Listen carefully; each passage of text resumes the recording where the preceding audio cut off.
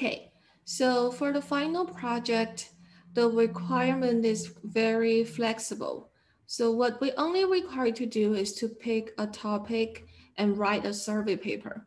So if you want to see a, an example, here I'm going to show something, a report we had from previous year's class. So you see that this student picked the topic about exact asymptotic and bootstrap confidence intervals. So it's like a it's like a survey paper, and we will provide an overleaf template for you to write it. So everyone will use the same template, and the template will incorporate the margin, the font size, and then you only need to control the number of pages. So this one actually exceeds the number of pages a little bit because we actually, I think in the, in the syllabus, correct me if I'm wrong, requires the length to be six pages. So this one actually went a little bit, went a little more than that, but that's okay. So you see how it looks like. So the only requirement is that when you pick the topic, please make sure that it has something to do with what we cover in the class. So they should at least be remotely related, like the asymptotic, right? Large sample theory is the theme of the class. So your topic should also involve asymptotics or large sample.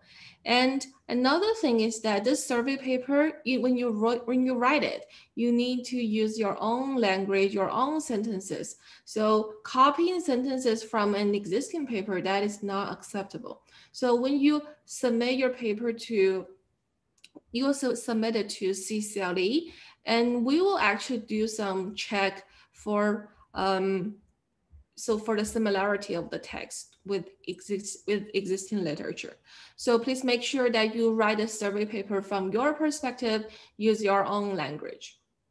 And in the last week, week 10, we're going to have short presentations from everyone. So based on the current enrollment, I think probably every, everyone will have um, will have five minutes. That's about that's my estimate. But we'll finalize the presentation schedule in the next two weeks.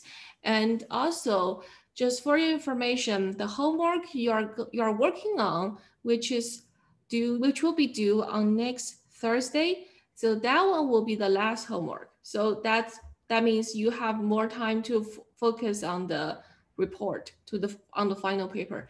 And I think most of the students who are enrolled in this class are PhD students, right? So therefore, I think you can use this as a, an opportunity to for formal writing. And that's very important for PhD study.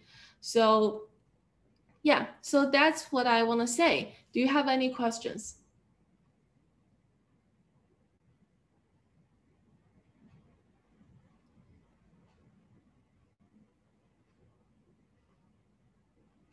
Okay, so if there's no question, then we're going to continue our lecture.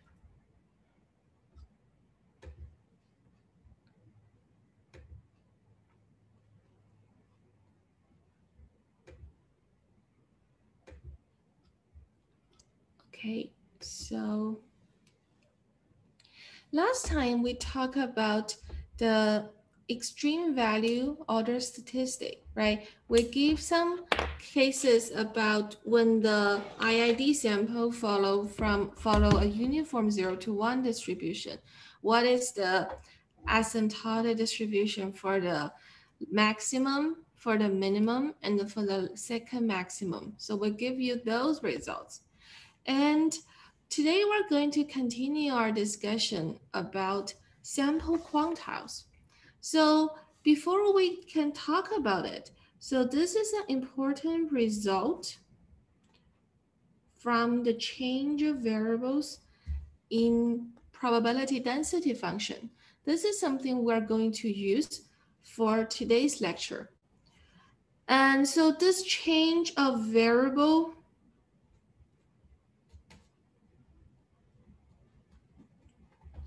is regarding how the probability density function changes as you transform a variable. So here the setting is we have a random variable x that has density fx. And so this is what we call the PDF, probability density function. And we, and let's say that X is in K dimensional. And here we have um, a function G that maps from RK to RK. So its value is in the same dimension as its argument, as its input. And we also require this G to be differentiable and has an inverse. So we call this invertible. So with this, then let's define y to be gx. This is the transformed vector, random vector. And for the inverse of g, we define the inverse of g to be h. Okay, so this means that you can write y equals gx. You can also write g, a, x equals hy. So then the PDF, so the result is the PDF density of y is what? Is actually equal to, we can give it a notation, let's write it as fy. Okay, and we evaluate at y, then this is equal to the density of x evaluated at hy, but not done yet. We need to have this factor. And the factor is actually what we call the Jacobian. And the Jacobian is what? Is the determinant of the first order derivative of h. Okay, so basically we can write this as the this determinant of h dot y. And this, and also we need to put an absolute value here. So this is what we call the Jacobian. Jacobian of h dot y. So that's it. So you can think about this Jacobian to mean the change of volume as you go from x to y. So here, this Jacobian, if it's equal to one, then you are just going to plug in here in the density function of x, plug in hy to replace x, you're done. But if this transformation is changing the volume in terms of this h dot, so this derivative, then you need to take that into account. So essentially, we can actually derive this by the, so we can derive this by the uh, calculus, the, the, the, the, um, the, what's the, what's the name of it? So basically, uh, the the chain rule. Yeah, you can you need you can use the chain rule to actually derive this. So the reason why we can do this is because if you think about the CDF, then the CDF is a probability of an event. And you can have that probability when you talk about Y and you talk about X. But then you take the derivative of the CDF to get a PDF, and then you will actually have a factor out there. Okay, so this is what we call change of variable in probability. And we're going to use that as an important fact from for the following discussion. So the following discussion, we are going to talk about the distribution of, so we're interested in the distribution of U1 to UN, the order statistic from U1, UN, IID, uniform, 0 to 1. So we're still interested in this setting. And the reason why we're interested in this is that if you think about a sample quantile of any distribution, then what it, we can actually think of the sample quantiles corresponding left tail probabilities to be those uniform variables from uniform from zero to one, right? So every left tail probability is between zero and one. We can think of it that way. And so therefore, there is some correspondence between the uniform order statistic and sample quantile. And we want to build that connection. So that's why we're still talking about this uniform order statistic. And if you recall, in our last two lectures, we derived the asymptotics for the maximum and the minimum. And those are what we call the extreme order statistic. But now we're going to talk about the general order statistic of uniform zero one and how can we deal with that. So, you know, the our most powerful tool is the central limit theorem, and we still want to make use of that. So that's why we to build that connection, a central limit theorem is about summation of many random many IIDs, right? How can we build that connection? So here comes the important lemma. And this lemma is very important that is, it's not asymptotics, it's the exact, it's an exact result.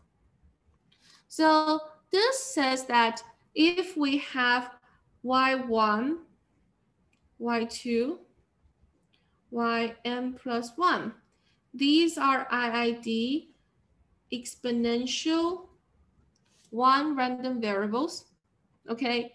we have IID exponential and we define the partial sum as i as the summation of yj, j from 1 to i. So in other words, it's just y1 plus plus 2 yi. Okay, a partial summation till the ith random variable. And here, I, of course, can go from 1 to n plus 1. So here, the important result is about the conditional distribution of Sn, sorry, S1 given as over Sn plus 1 to Sn over Sn plus 1. So the joint distribution of them, those n ratios, conditional on Sn plus 1, okay, is following the same distribution as the order statistic U1 to Un. So this is the result we are going to show for this lemma. You see, this is very strong because this is an exact result and it connects the partial sum ratio from exponential one distribution to the order statistic from uniform distribution. And then you can see if we can build this connection, then we are close to what we need for central limit theorem because these are the summations. So this is one variable this is some sum of n variable. So if we don't think about the boundaries, we think about something in the middle, then we can actually use the central limit theorem, which we will do after we're proving the lemma. So how can we prove this lemma? We're going to use the density function to show the left-hand side and the right-hand side have exactly the same PDF. To show that the left hand side and right hand side have the same PDF. Okay, so how can we show it? So we are going to start, for the left hand side, we're going to start with this IID exponential one. Okay, so the density, we first write down the density of y1 to yn plus 1.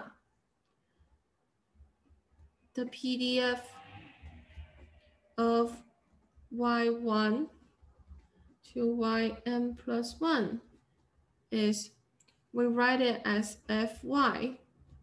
And so use the y to represent this whole vector and evaluate lowercase y1 to yn plus 1. This is easy, right? We're just going to use the fact that IID exponential 1. So we can see that it's equal to exponential negative summation yi i from 1 to n plus 1. And here, don't forget that we have a domain for exponential 1. And the domain is that every value has a positive density if and only if they are positive. So here we have this indicator function to indicate that requirement y1 and 2yn plus 1. They're all positive. Okay, so our next step is to obtain the joint density for S1 to Sn plus 1. So that's that will get us closer to what we need on the left-hand side. So this is what I called the, this for the left-hand side, this is what I call the step one, okay? The first PDF of y1 to yn plus one. Then we will get a PDF of S1 to Sn plus 1. So to do this, we need to use that change of variable formula. And we call this Fs.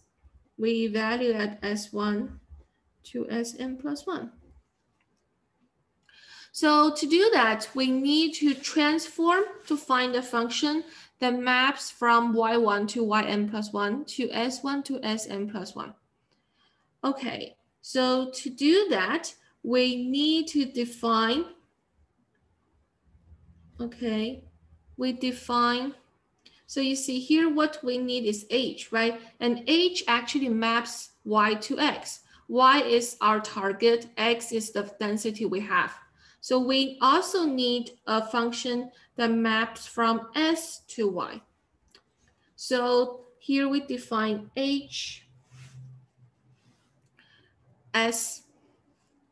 So we define, let's see, we need to define this y1 to yn plus 1 equals a function h of s1 to Sn plus one, right?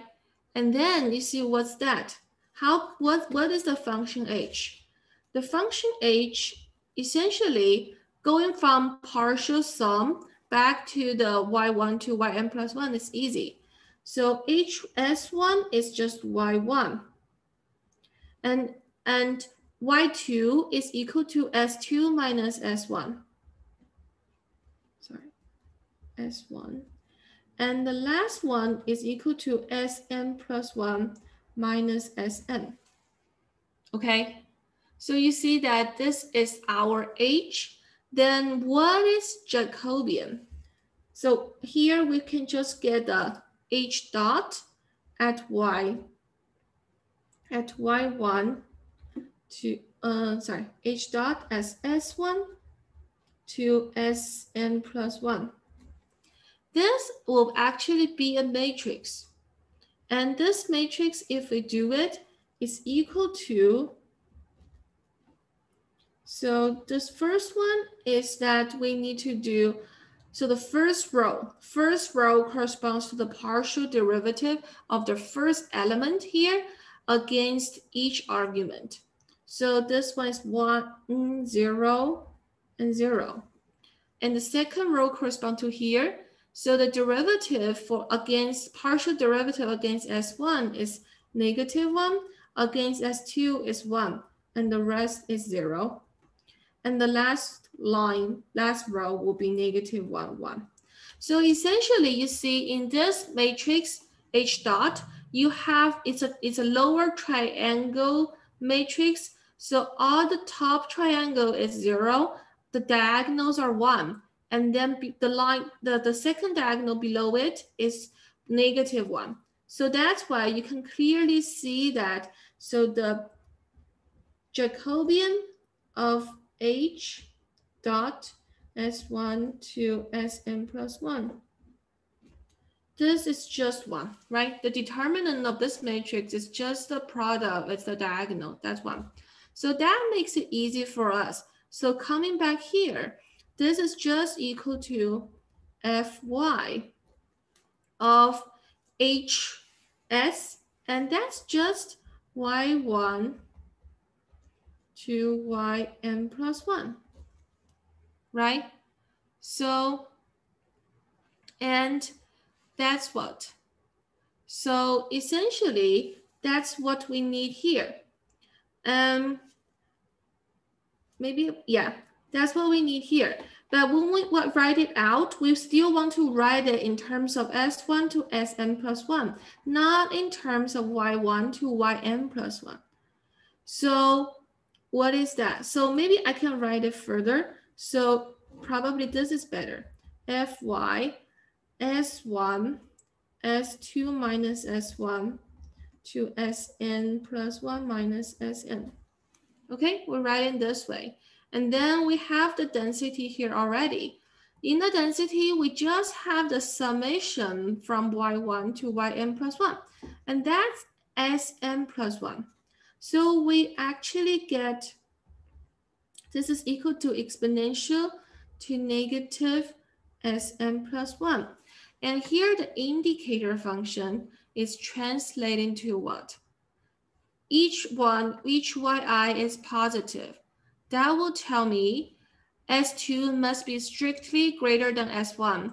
S3 must be strictly greater than S2, right? So that's equivalent to here. So the indicator function for the domain becomes like zero less than S1, less than S2, less than Sn plus one. Okay, so now we get a PDF of this. And one step closer, we are now going to go from this S1 to Sn plus 1 to the ratio S1 over Sn plus 1 to Sn over Sn plus 1. So we are going to call this step 3. So in step 3, we are going to define Zi as the ratio as i over s n plus 1. And here i go from 1 to n. Okay, now we are going to go from z1 to zn. So we have a vector z1 to zn and sn plus 1. So we are going to go from this vector back to s1 to sn plus 1. Just like in step 2, we go from, you see the h function maps s1 to sn plus 1 to y1 to yn plus 1. Okay, so we let this s1 to sn plus 1 be a function of z1 to zn in sn plus 1. So still from n plus one dimensional to n plus one dimensional. And how do we go from z1 to zn, sn plus one to s1 to sn plus one? That's easy, right? So we see that multiplying zi to sn plus one will give us si. So this is actually z1 sn plus 1 to zn sn plus 1. And the last one is Sn plus one. Okay. And then what is the G dot? Evaluate this at Z1 to Zn Sn plus one. It is still a matrix and we can see that when we take the partial derivative, so the first row corresponds to the partial derivatives of this. So against z1, we get sn plus 1. And the middle ones are 0. The last entry is against sn plus 1. So we have z1. Okay, And in the nth row, we would actually have Sn plus 1. And here we have Zn. Last one is we only have 1. So that will be the derivative of the G dot. So then what's its Jacobian? You see that we are still having, uh, this, this becomes an upper triangle matrix and its determinant is still the product of the diagonal entries. So here, the determinant of G dot Z1 to Zn Sn plus 1. This is actually equal to Sn plus 1 to the power n. Okay, and because we know those Sn plus 1s are positive, so the absolute value doesn't is not is not needed. So that's what we have. So then we use the change of variable to get the density of Z1 to Zn and Sn plus 1. So the PDF of Z1 to Zn Sn plus 1 is, we write it as Fz Sn plus 1. And we evaluate as Z1 to Zn Sn plus 1. Okay, and this is equal to, if we apply the transformation and use the density of S1 to Sn plus 1, Fs evaluated at what? At Z1 Sn plus 1, Zn Sn plus 1, and Sn plus 1 and then times the Jacobian. And here the Jacobian is Sn plus 1 to the power n. Okay, so now let's revisit what this density is. So it's actually here. It's this one. So if you look at it, then you can see that it's still the same term as n plus 1.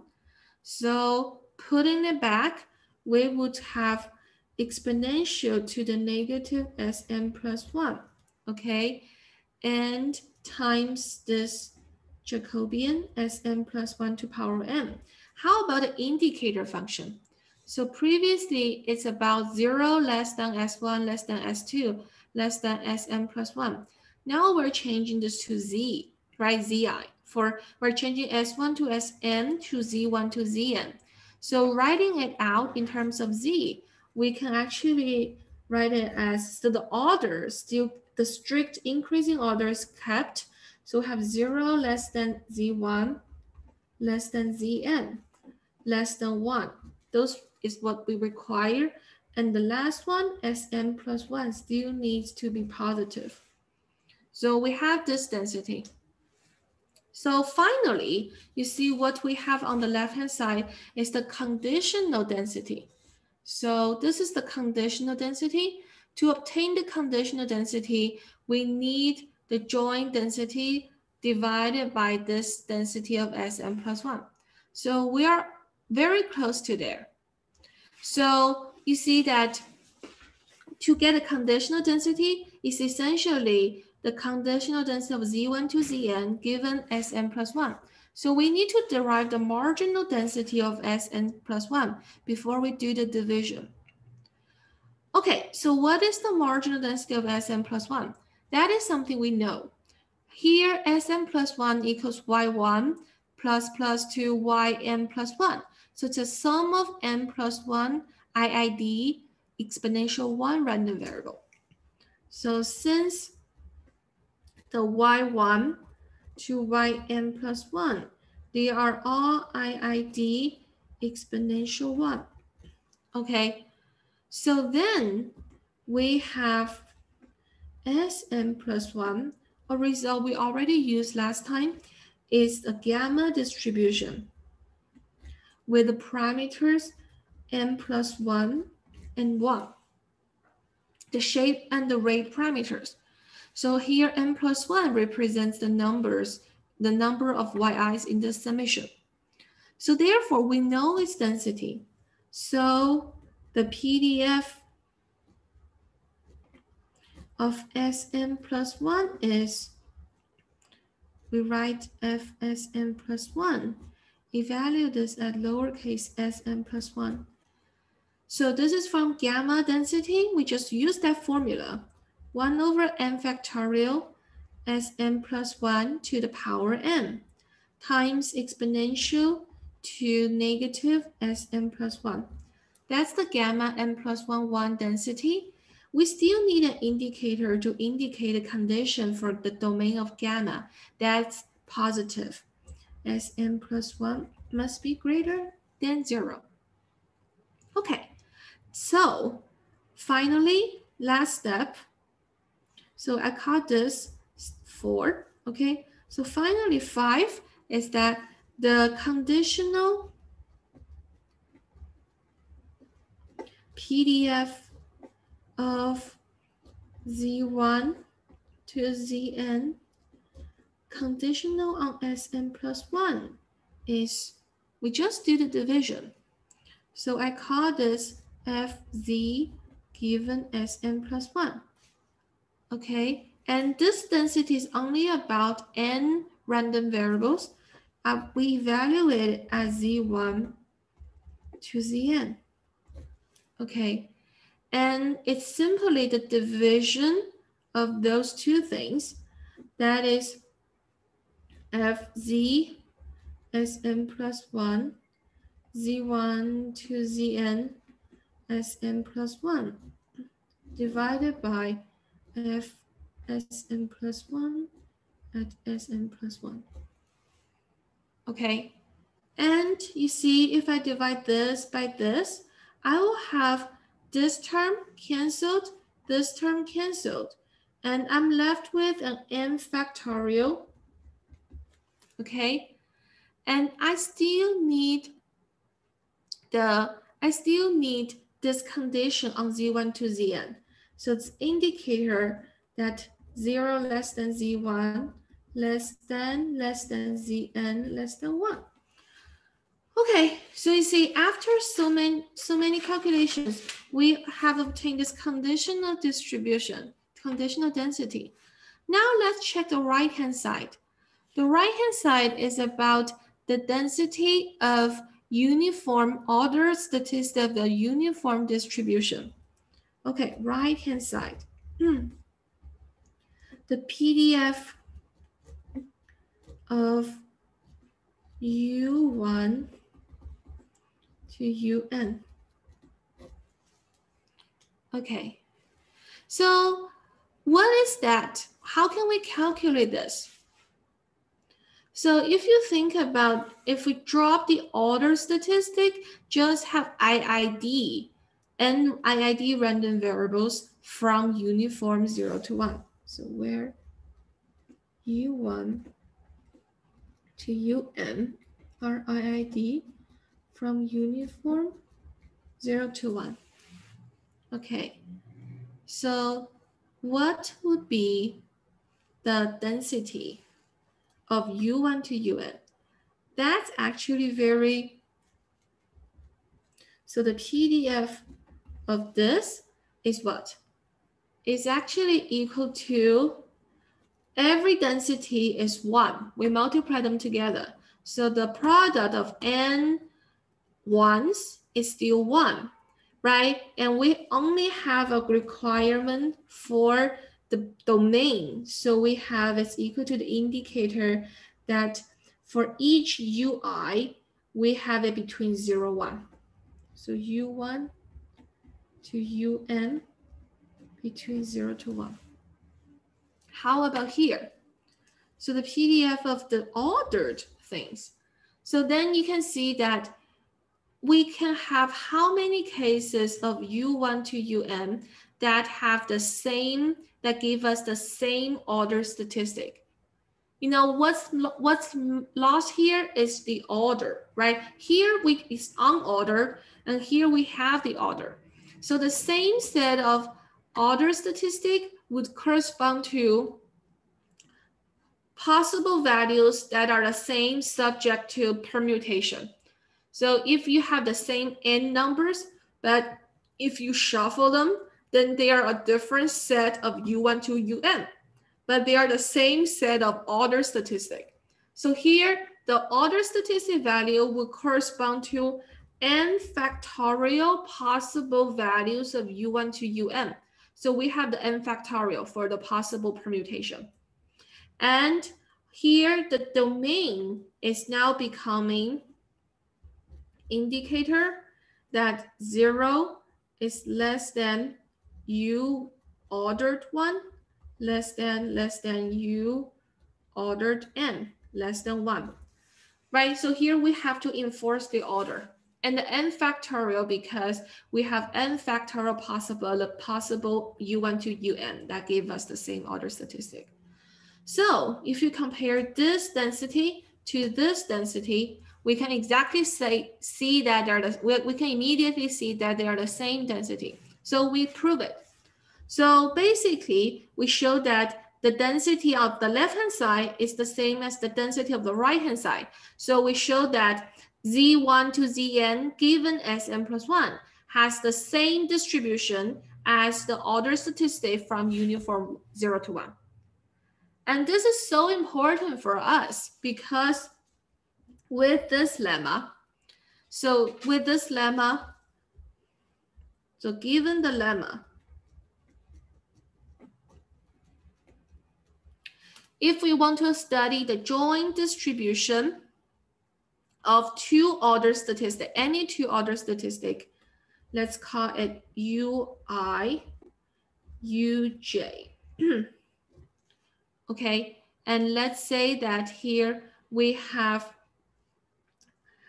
i and j being two integers, and they are both between, say, 1 and n. Okay, we just need to study the joint distribution of Si over Sn plus 1 and Sj over Sn plus 1. And you see Si, Sj, Sn plus 1 are three sums of IID exponential 1. That will make the central limit theorem applies. So you see Si, Sj is equal to Yj, j from 1 to i, right? So that's a sum. So is Sj. So here the j, maybe I can change to k, yk, and Sj, k from 1 to j, yk, Sn plus 1, k from 1 to n plus 1, yk. So these are three sums. As long as i and j are large, uh, n plus 1 is large for sure, then we can apply central limit theorem to each of them. Okay, so by CLT, central limit theorem, let's use SI as an example. What it is about, it's actually saying that the root I times the average, right? Average is equal to sum divided by the number of items. Si divided by I. That's the average minus the expectation of each yk. And each yk is what? Is 1, is exponential 1, right? So minus 1. This is converging in law to normal distribution, zero mean. And what's the standard deviation? So what's the variance of yk? That's still 1. So we have that. And this is as i goes to infinity. And this is because the expectation of y1 is equal to 1. Expectation, so the variance of y1 is equal to 1. So the central limit theorem becomes that. Okay, so then let's look further. So what if, if we have this i over n approaching a constant p. So if, think about it, so we have um, n goes to infinity and i goes with m, but their ratio goes to a constant p. This is something very interesting. The reason why this is interesting is that if you think about it, we have SI and so it's a partial sum.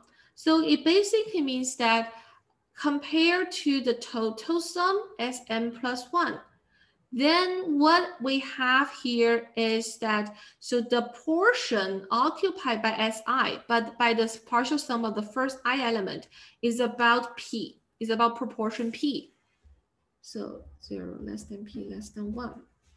So therefore, we can still talk about the distribution of Si, but now we're going to talk about it in terms of n plus one as opposed to I.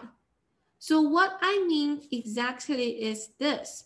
So if you think about with this relationship, then I could write m plus 1 root m plus 1 of si divided by m plus 1, not i, minus i divided by m plus 1. So think about this term. And I can write it in terms of this one. So you see, you see that this is equal to root i m plus 1 times root i, okay, times s i my over i minus 1. So you see, basically, this is what I have from here. And if I multiply this by this constant, I can obtain this left-hand side, right? You can just do a simple algebra and you will be able to see it. Um, yes, you'll be able to see it. And then what is this one convergent to? You see, this is convergent to, in law, so the constant is convergent to root P, okay? And this second part is convergent to standard normal. And this distribution is just normal zero mean variance P. So I basically derived the distribution for this left-hand side using root n plus one as the constant because here we are total number of items in the IID exponential one is n plus one. And then, so you see that another thing I can similarly derive, which I'm going to skip, but leave this for you to check the notes. It's posted to CCLE. Is that similarly, we can have what's left is just algebra. Similarly, we have root n plus 1 times sj minus si over m, m plus 1 minus j minus i over m plus 1. This is converging in law to normal, zero mean, and the variance is, okay, I should give another thing. It's actually convergent, variance is q minus p, okay? So here, let's say that j over n is converging to q. And here, because if I call j greater than i, okay, j greater than i, then I would have q greater than p, but still less than 1. So this is another proportion between 0 and 1. And so the difference between the two partial sum, if I divide this by n plus 1 and do this change it's converging to normal distribution as well. But the variance is just the difference between the two proportions. So this is a very interesting result, right? So we connect the partial sum and its asymptotic distribution is, we connect the partial sum's asymptotic distribution with the proportion of this partial sum among the among the uh, with the proportion of the partial sum among the total. So here I less sorry, I should say the partial this is the this is amount um, among the total sum, what proportion is explained by the first the sum of the first i elements. So that's the p and that's the q. And so you're, you can see that we're getting closer and closer to the sample quantile because the sample quantile is just about what value give us the left tail probability of P and Q. And our last bit of result is, so similarly, I have this, and the last bit of result is about still n plus one. But now I'm going to get the last sum, the total into here, as n plus one minus sj over n plus one minus here I would have n plus 1 minus j over n plus 1. This is converging in law to normal distribution, mean 0. The variance is 1 minus q. Okay, so we have basically derived what we called another lemma, which is just about these. So we have derived those individually, but that lemma is just a joint distribution of those three things together. So let's get another piece of paper and call that a lemma. So let's restate the conditions. So we have y1 to yn plus 1 as IID exponential 1. Okay, and we have these conditions. So basically we have root n times i over n minus p. This is convergent to zero. And this is about constant, so there's no random variable here. It's just a numbers convergent to zero. And the notes was, the previous note posted had a typo there and I corrected. And we also have root n j over n minus p. This converges to zero. So you see that we actually give this a rate. It's actually converging to zero faster than the increase in root n. So we need that for this lemma. And previously we just say, okay, i by over n minus p go to zero. But in that not so rigorous statement, here we make it more rigorous by having this rate root n here. And then the statement is about the joint distribution of three things. So it's the joint distribution of three things. The first one is Si over n plus 1. The second thing is Sj minus Si over n plus 1.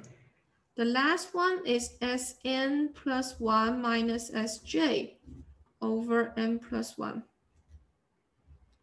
Okay, three things minus P, Q minus P, 1 minus Q. Okay, and these are converging in law jointly to a three-dimensional uniform uh, normal distribution, zero mean. And the covariance matrix is just P, Q minus P, 1 minus Q. And the off diagonals are zero.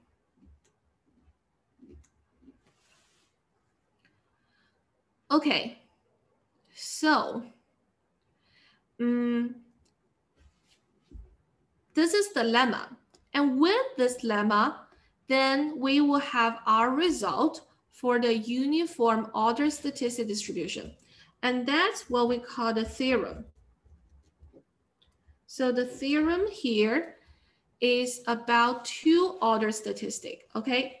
So this is about U1 to UN R order statistic are the order statistic of a uniform zero, one, IID sample U1 to UN. Okay, so still we need those two conditions. So if root n i over n minus p is convergent to zero and root n j over n minus q is convergent to zero as n goes to infinity. Okay, and we have zero less than p less than q less than one. Then we have the joint distribution of ui and uj as this.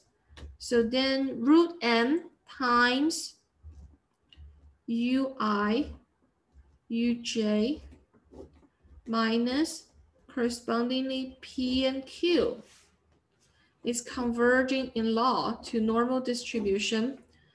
Zero mean, this is a two-dimensional normal distribution.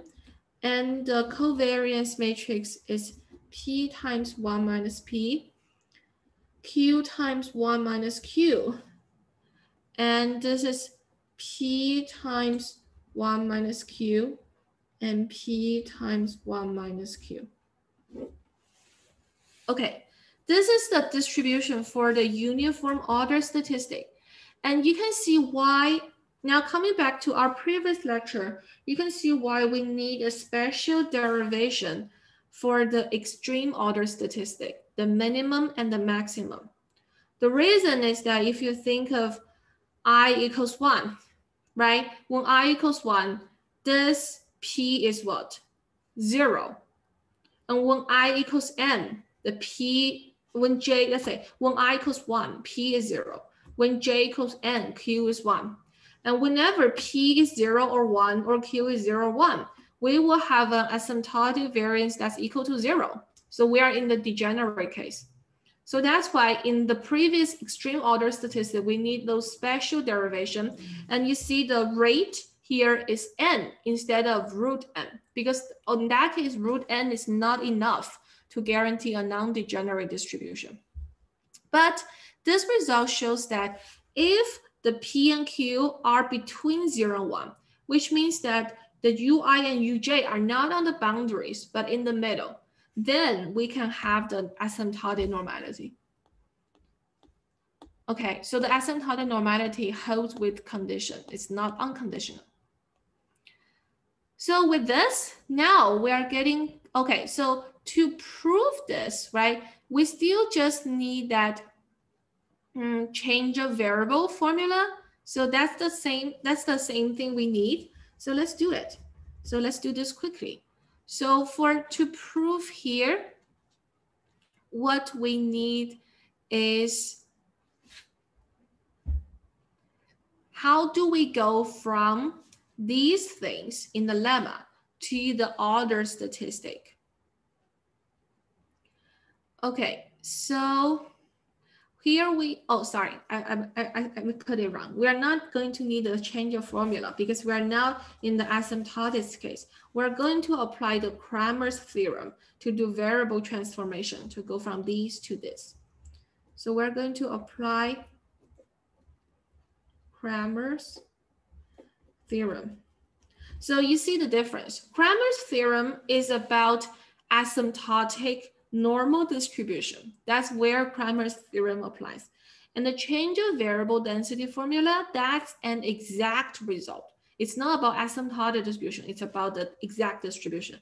And also for the continu continuous mapping theorem, the first statement of Slutsky, that one is, is also about asymptotics, but it's about applying the same transformation to both both side, right? So if you have a standard normal, you squared it, it becomes chi-square one. So you're transforming both side. But here, Cramer's theorem means that you keep normal as normal, but you just change the variance. So compared to the continuous mapping theorem, this is a further approximation by using first order Taylor expansion so that the transformation is taken as linear. So that's why the linear term goes into the variance, asymptotic variance. So those are the differences.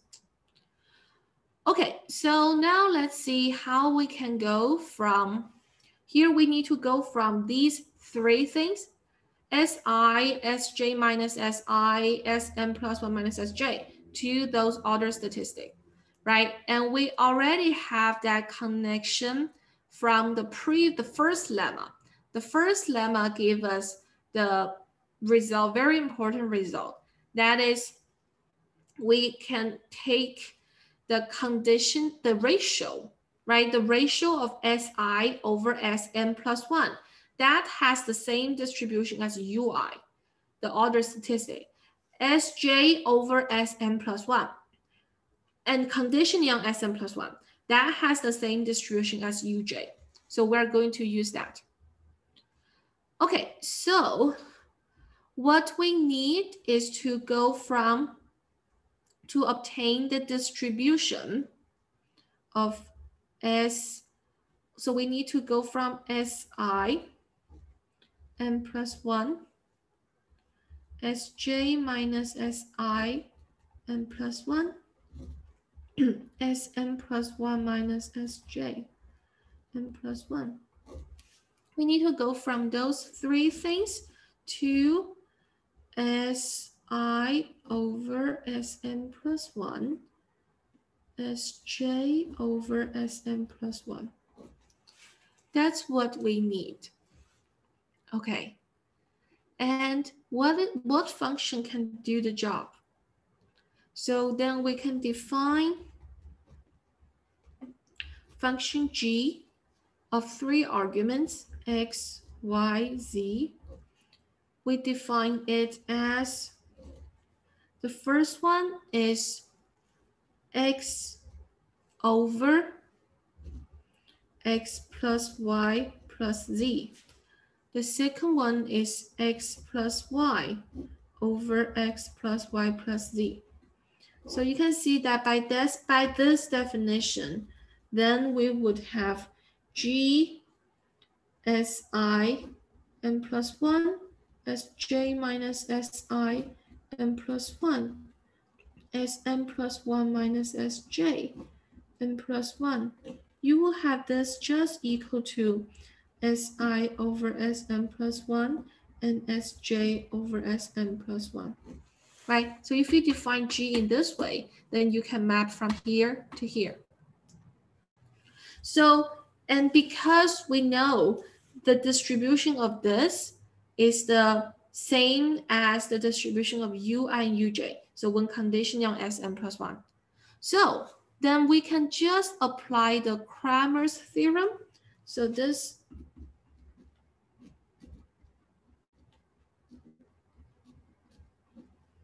Okay, so conditioning on, let me put it here, conditioning on Sn plus 1. So then you can apply Cramer's theorem to this. So what we mean is that, so root n plus 1, okay,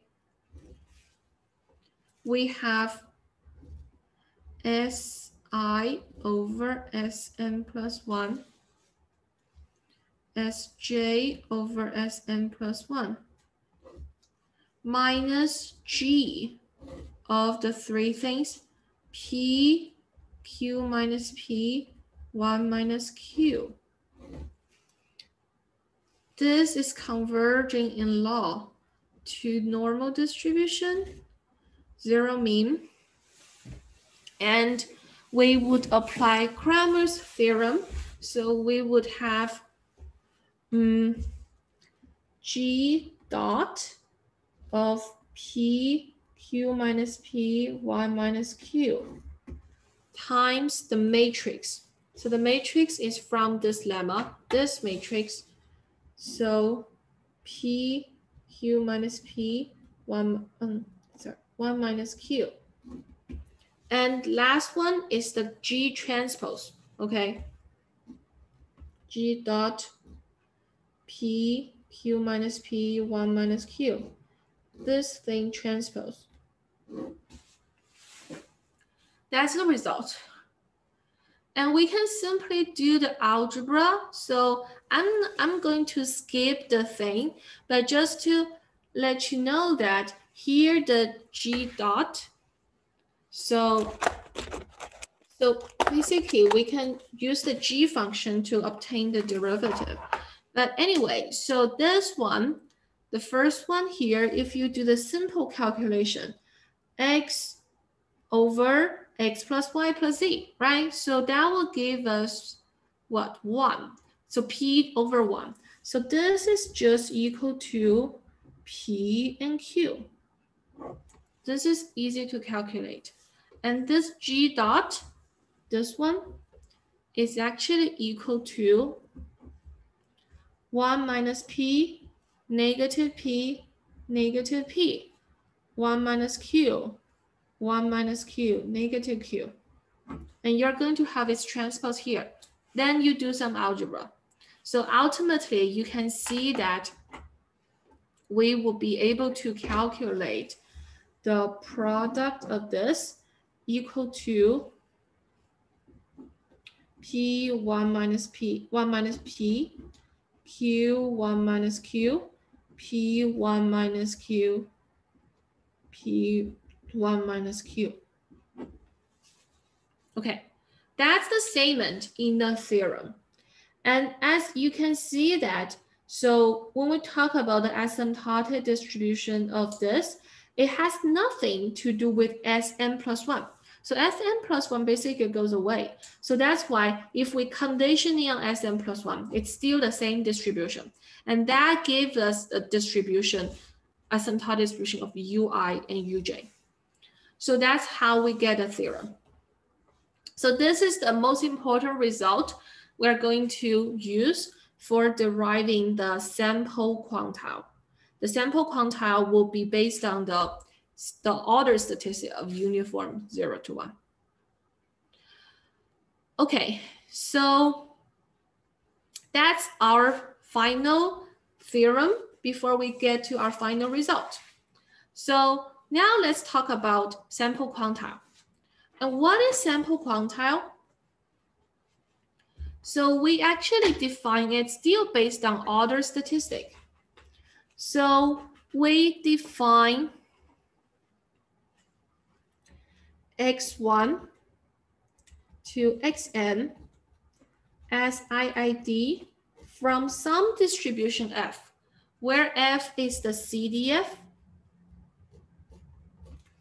and we write its PDF as lowercase f. Okay, so we sort them as order statistic. So after sorting, we write them as x, x1 to xn. Then what is the pth sample quantile? The pth sample quantile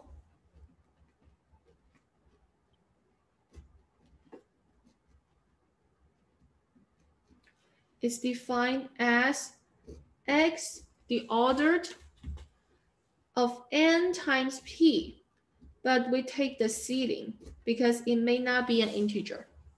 That's the definition of the sample quantile. It is based on order statistic. So you multiply the p, the left tail probability by n, and then you take the ceiling and the corresponding order statistic is called the sample quantile. So the corollary about sample quantile distribution, um, asymptotic distribution of sample quantile is as follows. So for example, if you let p equals 2.5, okay, then this is the median. X 0.5 and ceiling is what we call the sample median. The corollary says that we would have, if we have the zero, less than P, less than Q, less than one. Okay, and we also have density function. Mm, so we have density function F to be continuous and positive. So it cannot be zero. In neighborhoods of, let's use this, XP and XQ. So where the XP and XQ are the population quantiles of F.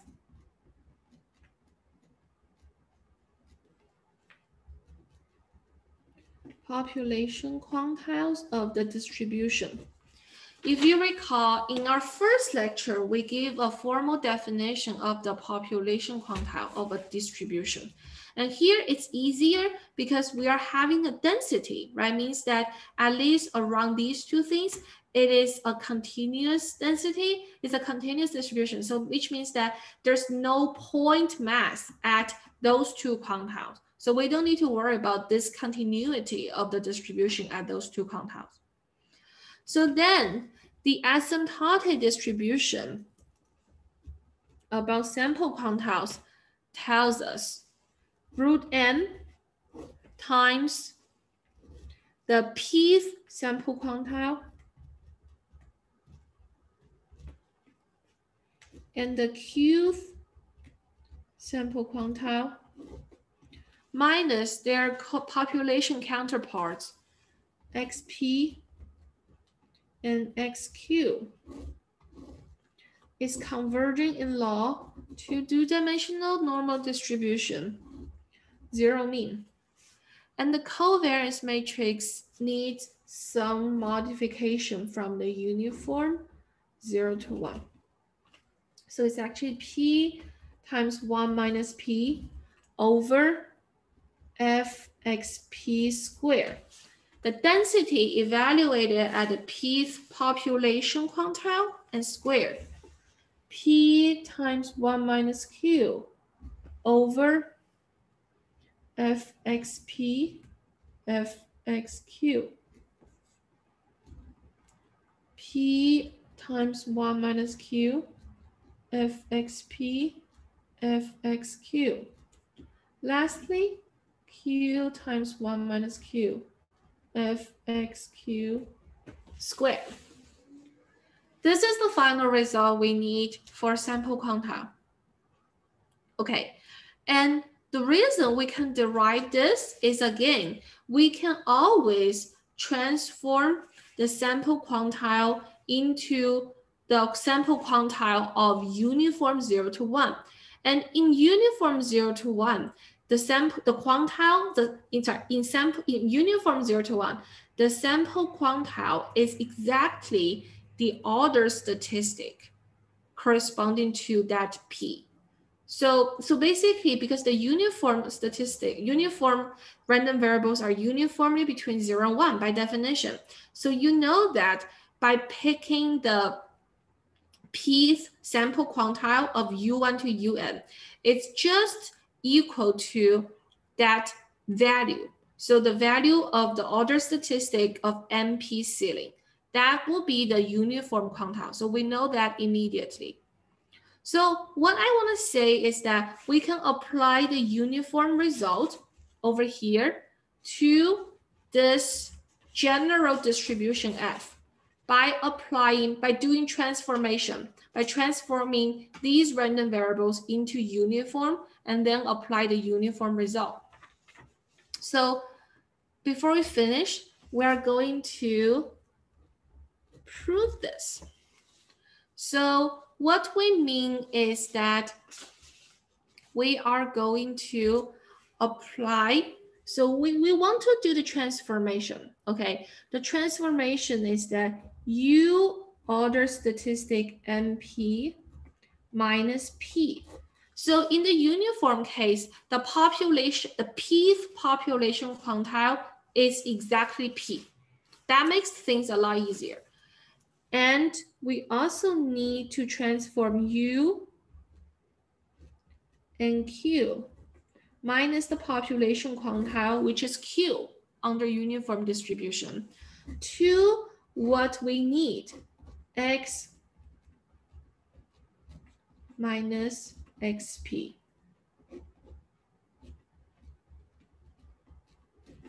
minus xq. This is what we need. We need a transformation. And what is that? So this is something we need to apply Cramer's theorem. So we can go from here to here. And what we, how can we do the transformation? We talked about that before. We just apply the inverse of the CDF of x1 to xn, and we're done. So we just need a g function, define g x y equals to f inverse x f inverse y.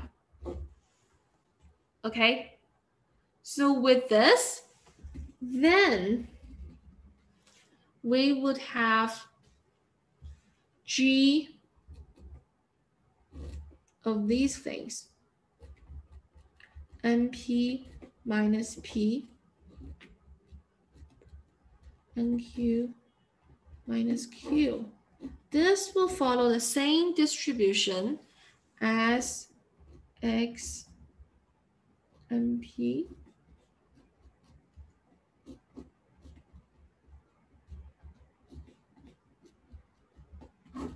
Okay. Then you can see Cramer's theorem can be applied. So we would just apply Cramer's theorem to this result, to the theorem result, so that we can obtain the corollary asymptotics for any sample quantile. Okay, so to do that, we just need the G dot, right? So the G dot at X Y is what? It's a two by two matrix. And here it's F inverse X. We're going to take its partial derivative against X and Y. So this can actually, we know this is a calculus result. This is actually equal to one over the density F inverse X. One over the density F inverse Y. The other two entries are zero.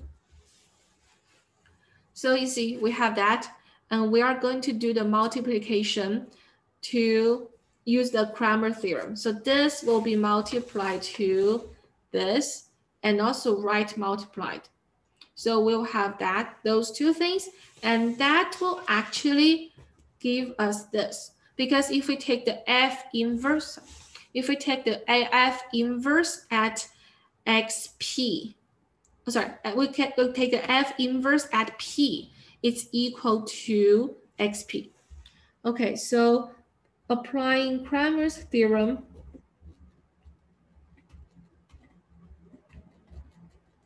gives the result. Result. Because we would have G dot, here the X and Y is PQ, is equal to 1 over fxp, 1 over fxq. Okay, so with this result, with this corollary, then our problems about sample quantiles in the homework will become solvable. So whenever you use it, for example, if you want to derive it for the median, then P is set to one half, then you will have one half, one half, and you need the population quantile to be plugged in and the density. Those will give you the asymptotic distribution you need. And so to fully understand this result, I think we need to thoroughly understand the definition of the sample quantile, the population quantile, and what's the left tail probability, and the connection between a uniform random variable to variable of any distribution. So those are the important things we need so that we can fully understand this. So we will stop here. And next time when we come back, we are going to give you some examples about the about how, about application of this corollary. And so I'm going to post the notes about the examples to CCLE so you can check them out before our next lecture. Okay, so that's all for today. And we're going to see you again on next Tuesday.